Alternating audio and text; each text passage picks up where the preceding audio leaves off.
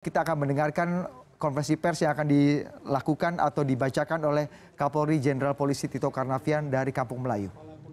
Iran, kepala polisi Turki, dan kepala polisi Saudi. Uh, saya baru mendarat lebih kurang hari Rabu malam. Kemudian begitu saya tiba di kedutaan besar Indonesia yang ada di Iran, bertemu dengan Bapak Dubes, Bapak Octavian dan warga Indonesia yang di di Teheran. Kemudian kita mendengar kabar bahwa terjadi insiden bom yang ada di Kampung Melayu ini. Kemudian saya memutuskan untuk uh, membatalkan keberangkatan saya ke Turki dan Saudi, tapi dilanjutkan oleh uh, Komjen Tutut Bayu Seno, wakili saya dan rombongan. Saya sendiri kembali dan uh, langsung ke TKP. Jadi rekan-rekan sekalian, pertama-tama tentunya saya uh, mengucapkan rasa duka cita sedalamnya terutama kepada para anggota yang dalam tugas mereka sedang bertugas sehingga mereka gugur dalam tugas. Dan mereka semua kita anggap kita yakin mereka juga lah wafat gugur dalam keadaan syahid karena sedang melaksanakan tugas mengamankan uh, masyarakat bangsa dan negara.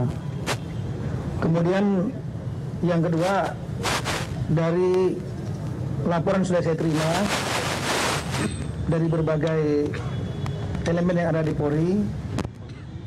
Ini kelompok pelaku kelompok pelaku yang lama juga.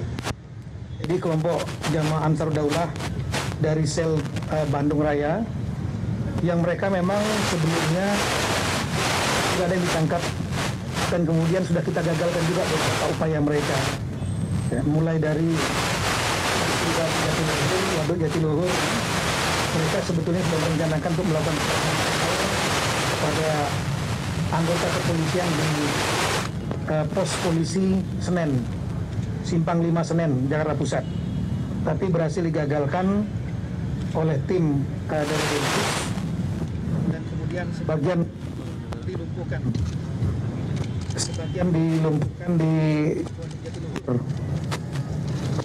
kemudian berikutnya lagi.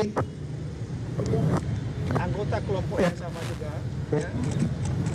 anggota kelompok yang sama juga akan melakukan di Bandung tapi bomnya meledak dahuluan. Prematur di Taman Pandawa sehingga akhirnya melarikan diri masuk ke kantor lurah dan kemudian dilakukan pengepungan oleh jajaran Polda Jabar dan Polres Bandung. Dan kemudian kelompok ini sebetulnya masih kita juga tolong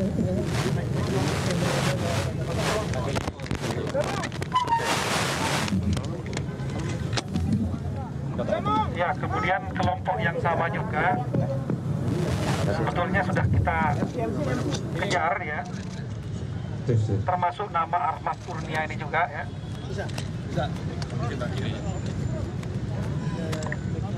ya, termasuk Ahmad Kurnia kemudian Iqbal Nurul Salam ini juga sudah masuk dalam radar dari Densus 88 dan sedang dilakukan pengejaran juga sehingga kejadian yang ada di Kampung Melayu ini ya memang kita sesalkan jadi tapi mereka juga sudah belajar cara mengdeteksi deteksi kepolisian ya deteksi intelijen dan lain-lain. Nah saya kira masyarakat tidak perlu uh, untuk panik ya. Kita sudah beberapa kali berkali-kali kita berhasil menangani kasus serangan teror saya yakin kita semua tetap kuat ya. Ini kelompok kecil. Tidak perlu kita khawatirkan dan kita akan tetap akan kejar mereka. Sel-sel mereka sudah tahu kelompok mereka sudah tahu dan saya sudah memerintahkan jajaran untuk kejar habis kelompok-kelompok ini. Nah sekarang memang pertanyaannya kenapa sasarannya adalah anggota kepolisian. Ini mereka menggunakan doktrin yang namanya doktrin takfiri. ini kelompok ini pendukung ISIS melalui individual yang bernama Baru Naim yang ada di Raqqa. Dan kasus ini bukan hanya sekedar kasus lokal, tapi adalah fenomena global. Karena di tingkat pusat yaitu di Syria, kelompok ini ISIS ini ditekan oleh Rusia maupun oleh Barat sehingga mereka sekarang terjadi fenomena namanya desentralisasi yaitu sentralnya diserang mereka berpecah dan kemudian memerintahkan sel-sel pendukungnya yang lain di berbagai negara untuk melakukan serangan untuk mengalihkan perhatian. Maka kita melihat terjadi ada di Manchester ya di Filipina juga di Indonesia adalah sel yang terkait melalui individu yang bernama Baru Naim orang Indonesia yang ada di Baik, itu tadi keterangan pers yang baru saja diinformasikan atau dibacakan atau diberikan oleh Kapolri Jenderal Polisi Tito Karnavian terkait dengan ledakan bom yang terjadi beberapa waktu yang lalu di Kampung Melayu bahwa memang Kapolri sendiri mengucapkan duka cita yang mendalam dan Kapolri sendiri mengu- eh, menginformasikan bahwa ini adalah pelakunya adalah kelompok JAD atau Jamaah Ansur Daulah dari Bandung Raya. Ini kelompok kecil yang Kapolri katakan tidak perlu dikhawatirkan. Jadi masyarakat tidak perlu panik, tidak perlu khawatir, tetap harus bersatu padu untuk melawan teror.